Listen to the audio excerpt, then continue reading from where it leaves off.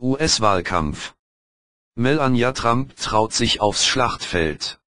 Kurz vor Toresschluss greift Melania Trump in den Wahlkampf ein, Donald Trumps Gattin, die seine schlechten Umfragewerte bei Frauen aufpolieren soll, hielt ihre erste Wahlkampfrede.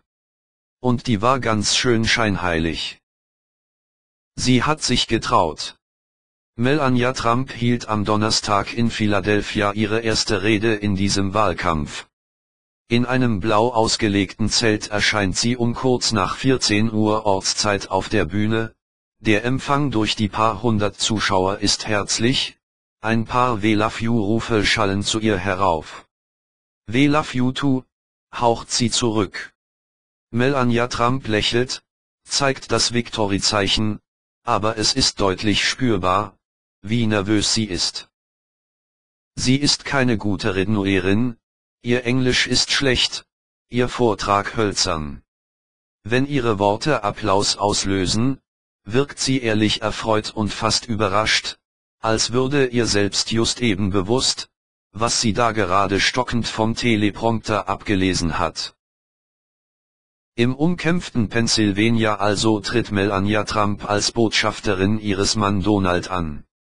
Der liegt hier laut Umfragen fünf Tage vorm Stichtag rund 5 Prozentpunkte hinter Hillary Clinton zurück, in einigen Bezirken sogar bis zu 23 Prozent sollte er seine Rivalin in Pennsylvania aber in Bedrängnis bringen können, wäre alles möglich in der Nacht der Entscheidung.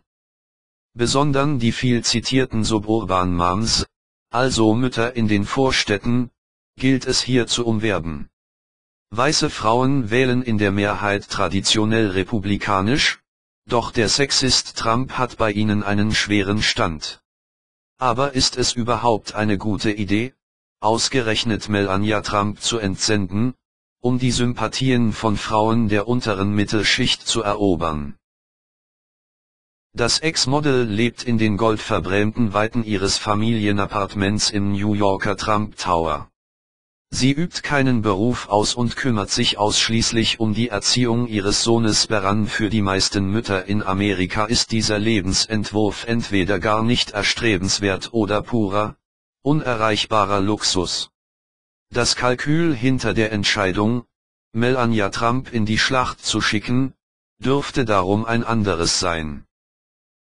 Die Ehefrau als Leumundszeugin die Gattin des Milliardärs wird als Leumundszeugin eingesetzt. Sie soll all den Frauen, die von den Skandalen um Donald Trump schlicht angewidert sind, Vertrauen einflößen, seht her, hier stehe ich, seine Ehefrau wenn ich seine Grabskprahlereien verzeihen kann, dann kann das so schlimm gar nicht gewesen sein. Energisch versucht Melania Trump in ihrer Rede mit dem Vorurteil aufzuräumen, sie sei nur ein Luxusweibchen. Sie habe als Model gearbeitet, sagt sie, und obwohl der Beruf ein Glamour-Image habe, sei das sehr harte Arbeit gewesen. Sie spricht über ihre Heimat Slowenien und dass ihnen dort in den 80er Jahren, im Kommunismus, US-Präsident Ronald Reagan wie die personifizierte Verheißung auf ein besseres Leben erschienen sei. Das Publikum bejubelt diese Reverenz an den letzten großen Helden der Republikaner besonders frenetisch. Sie sei eine Immigrantin, sagt Melania Trump, und niemand schätze die Freiheit und die Möglichkeiten in den USA mehr als sie. Für Millionen illegaler Immigranten im Land muss das wie blanker Hohn klingen.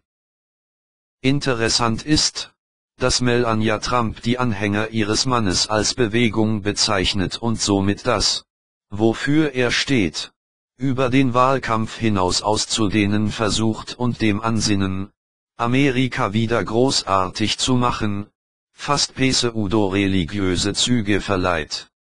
Die Spaltung der Republikanischen Partei scheint in solchen Momenten sehr greifbar.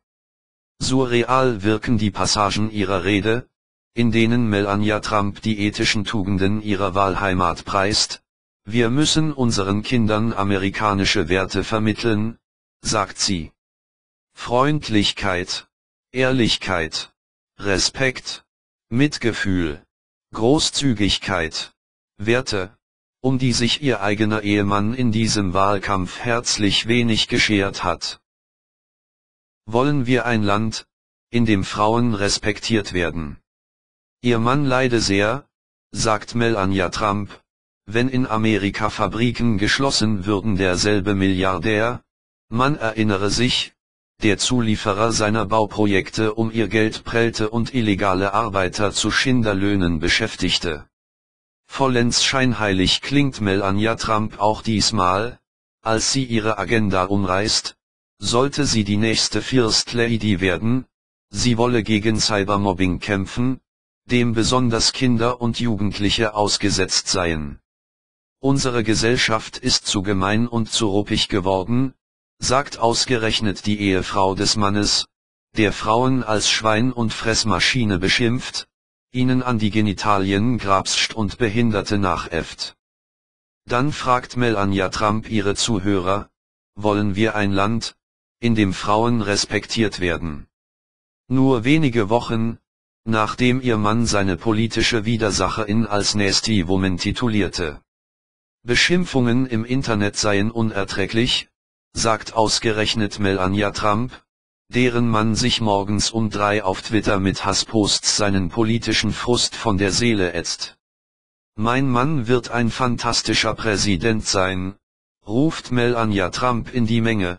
Und selbst wenn ihre Rede diesmal nicht bei Michelle Obama abgekupfert ist, der Vergleich zwischen den beiden Frauen, der amtierenden First Lady und ihrer möglichen Nachfolgerin, steht hier natürlich mit im Raum. Melania Trump wird wissen, dass sie sich als Übermittlerin einer politischen Botschaft nicht ansatzweise mit der eloquenten Michelle Obama messen kann. Das Rennen in Pennsylvania ist noch nicht gelaufen. Am Montag kommen der Präsident und Michelle Obama.